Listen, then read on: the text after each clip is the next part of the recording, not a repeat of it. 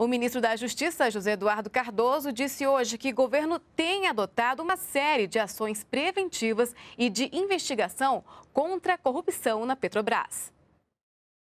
Parece muito claro que a atual diretoria não tem qualquer suspeição sobre ela e não há indicadores de indícios que possam envolver a pessoa da sua presidente, bem como dos atuais diretores.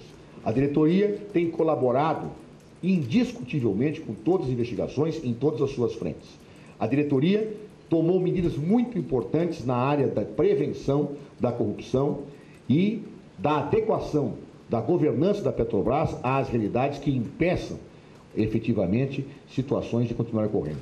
Criou uma diretoria de compliance, centralizou informações e unidades justamente para evitar que se repetissem situações que no passado podem ter ocorrido.